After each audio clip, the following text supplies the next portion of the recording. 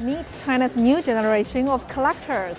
They are starting young, they have lots of money to spend, and their tastes are very different from their parents. There's Lin Han, whose first art purchase was the cover of a Sotheby's auction catalog.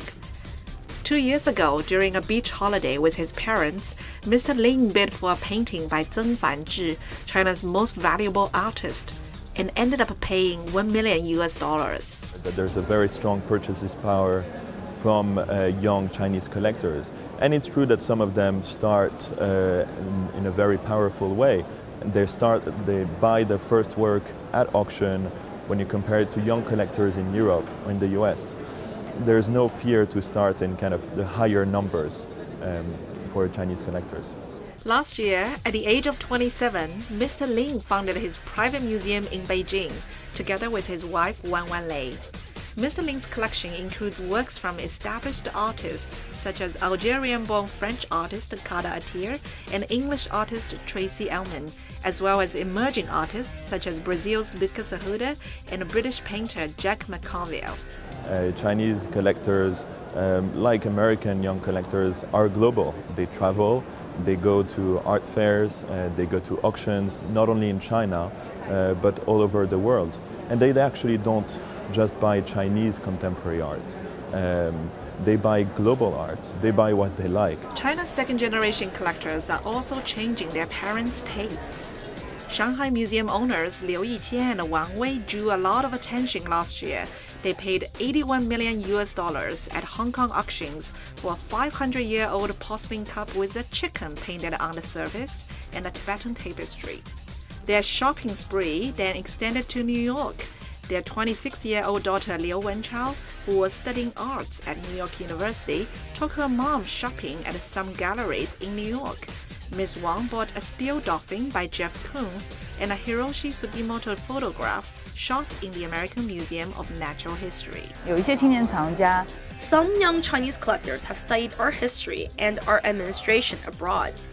They've affected their parents, so their parents have broadened their horizons, and now they're going around the world to search for works that interest them. Meet China's new generation of collectors. They are starting young, they have lots of money to spend, and their tastes are very different from their parents. There's Lin Han, whose first art purchase was the cover of a Sotheby's auction catalog. Two years ago, during a beach holiday with his parents, Mr. Lin bid for a painting by Zeng Fanzhi, China's most valuable artist, and ended up paying 1 million US dollars. There's a very strong purchasing power from uh, young Chinese collectors. And it's true that some of them start uh, in, in, a very powerful way. They start, they buy their first work at auction when you compare it to young collectors in Europe or in the US there's no fear to start in kind of the higher numbers um, for Chinese collectors. Last year, at the age of 27, Mr. Lin founded his private museum in Beijing, together with his wife Wan Wan Lei. Mr. Lin's collection includes works from established artists such as Algerian-born French artist Kader Attia and English artist Tracey Emin, as well as emerging artists such as Brazil's Lucas Arruda and British painter Jack McConville. Uh, Chinese collectors, um, like American young collectors, are global. They travel, they go to art fairs, uh, they go to auctions, not only in China, uh, but all over the world. And they actually don't just buy Chinese contemporary art. Um, they buy global art. They buy what they like. China's second generation collectors are also changing their parents' tastes. Shanghai museum owners Liu Yiqian and Wang Wei drew a lot of attention last year. They paid 81 million US dollars at Hong Kong auctions for a 500 year old porcelain cup with a chicken painted on the surface and a Tibetan tapestry.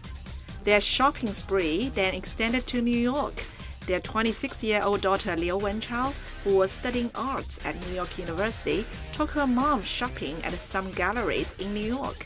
Ms. Wang bought a steel dolphin by Jeff Koons and a hero